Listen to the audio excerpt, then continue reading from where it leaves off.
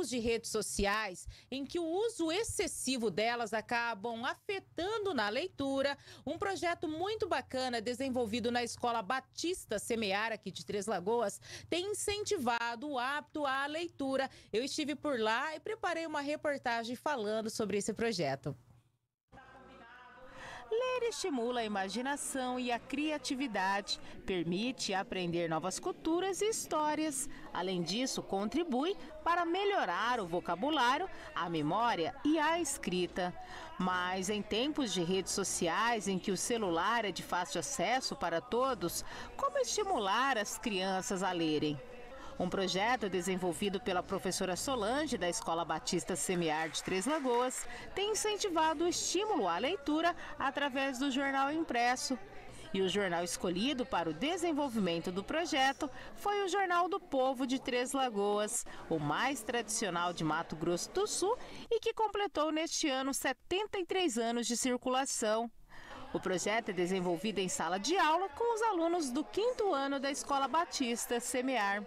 Nós temos esse projeto, né, vem na apostila dos alunos e como o interesse foi grande dos alunos, então eu resolvi né, abranger mais esse tema, reportagem, textos jornalísticos. Então o que eu faço? Pego o nosso jornal, o Jornal do Povo, eles fazem a leitura né, das manchetes, das reportagens e fazem um resumo do que eles entenderam a partir da reportagem. A professora Solange conta que desde que o projeto foi iniciado, houve uma melhora em vários aspectos e disciplinas. A leitura é muito importante e com isso, com esse desenvolvimento, com esse projeto, desenvolveu muito a sala. Então, a escrita melhorou, a fala, é, a fala deles melhoraram, então, melhorou em todas as matérias, não só em língua portuguesa. Como parte do projeto, a professora Solange nos convidou para falar um pouquinho sobre o Jornal do Povo e sobre os demais veículos de comunicação do grupo RCN. Além de explicar um pouquinho da rotina do jornalista e da importância do jornalismo, como por exemplo no combate às fake news, depois de toda a explicação da nossa rotina, foi a hora dos pequenos perguntarem e tirar todas as dúvidas.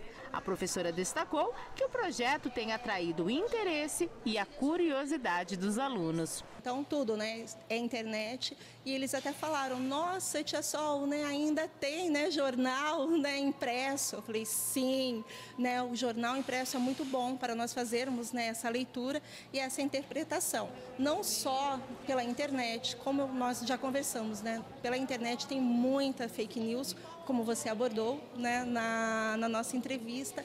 Então é sempre bom eles é, ficarem atualizados também o que, que tá, está acontecendo né, na nossa região, né, no Brasil e no mundo. Lívia Stephanie tem 10 anos e aprova o projeto. Ah, eu acho muito interessante para incentivar as, os alunos a lerem, a escrever melhor, porque lendo a gente consegue ter um desenvolvimento para na hora de escrever, fazer uma produção de texto, ter mais desenvolvimento e habilidades para exercer.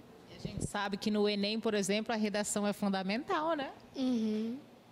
Assim, eu fiquei, eu já escutei muitas pessoas que falaram que só porque erraram na redação acabaram não passando no Enem. Davi Lopes Pereira, com apenas 10 anos, também sabe da importância do projeto. Interessante, né? Porque, tipo, é, nunca conheci uma pessoa como você, nunca conheci uma entrevistadora, nem, nem apareci numa entrevista, né? E também, eu, português é uma, uma matéria muito interessante também, que precisamos estudar para crescer e ter, e ter conhecimento da leitura tanto da leitura, tanto da escrita também. Laísa Gabriele também tem 10 anos e diz que desde pequena gosta de ler.